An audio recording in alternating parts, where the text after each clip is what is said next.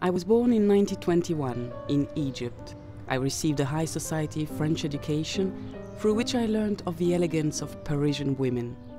What I have in my eyes is something that I was born with. Egypt is a color for me. The sand is the most beautiful sand I have ever seen, a rose tinted beige. I grew up in a wealthy and intellectual family, and our house was full of books. My mother was passionate about fashion, and a seamstress would come to our house and make clothes for the family, inspired by illustrations from French fashion magazines.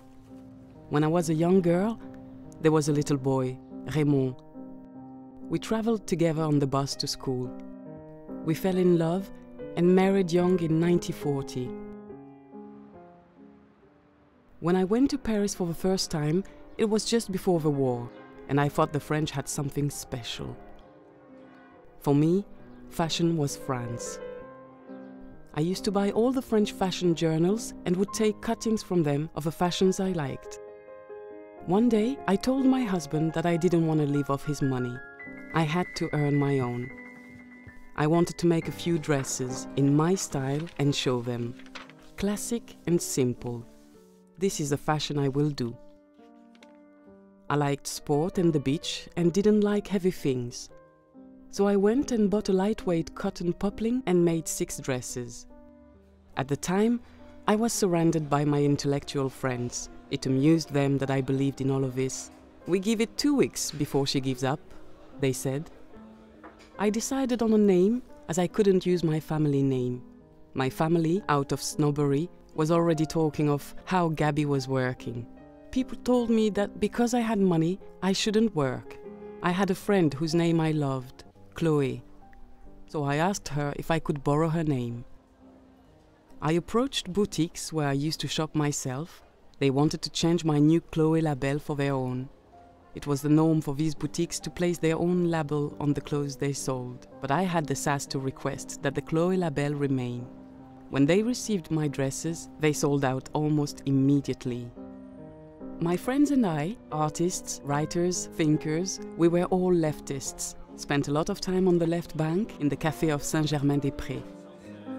I asked the owner of the Café de Flore if I could present my collection at the café over breakfast. This was completely new in 1956 and the press was delighted. In the early days of Chloé, I had no office. Everything happened at my house.